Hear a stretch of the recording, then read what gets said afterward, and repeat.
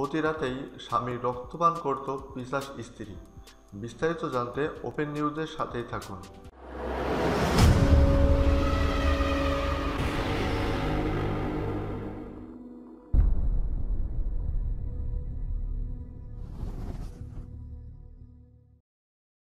ভারতকে digital India গড়ে তোলার স্বপ্ন দেখেছেন নরেন্দ্র মোদী।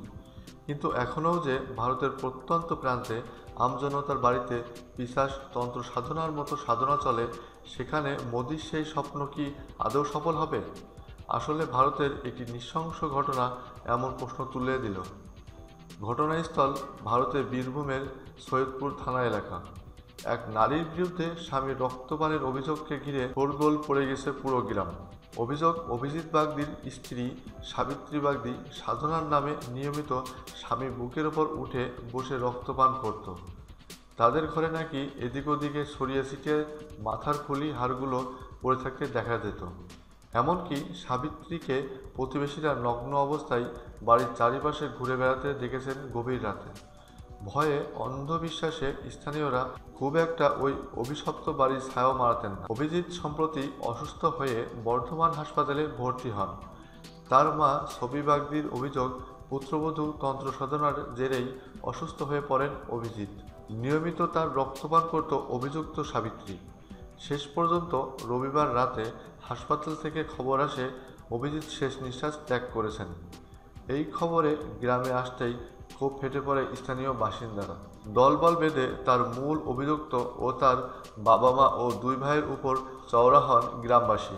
পুলিশ অভিযুক্তদের উদ্ধার করে থানায় নিয়ে যায়। স্থানীয়দের অভিযোগ অভিজিতের মৃতদেহ গ্রামে এসে পৌঁছালেও শোক প্রকাশ করতে দেখা যায়নি তার স্ত্রীকে।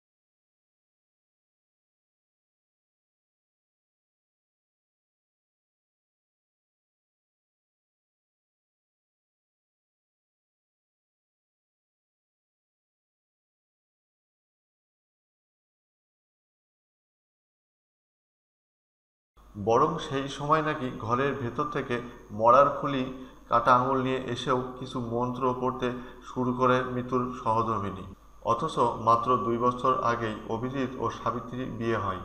তাদের একটি সন্তানও রয়েছে। স্থানীয়দের অভিযোগ, প্রথম থেকেই বাপের বাড়ির সদস্যদের কথায় পৈশাচিক সাধনায় মেতে থাকত সাবিত্রী।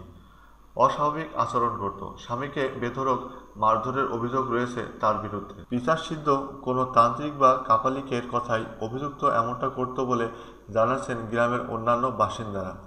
নরখাদক স্ত্রীকে জনতাই শাস্তি দেবে, এই দাবিতে উত্তাল হয়ে ওঠে।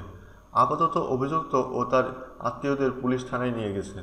তাদের জিজ্ঞাসাবাদ করে আসল ঘটনা জানার চেষ্টা চলছে।